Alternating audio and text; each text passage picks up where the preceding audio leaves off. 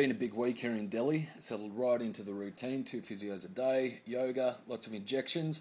Bit of rain. It's still hot though. As you can see here, my kick has improved. So that was a small breakthrough. I showed Dr. Shroff and she sent me away to what's called the old hospital uh, to have done procedure.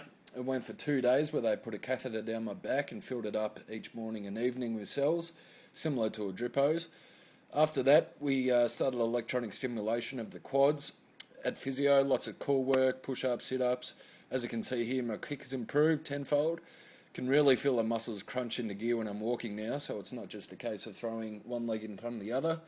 Uh, so that's the improvements this week. Otherwise, it's been quite boring. Now my brother Sam has gone back home, so I had a bit of time on my hands last night. Uh, but that's it for now. Cheers.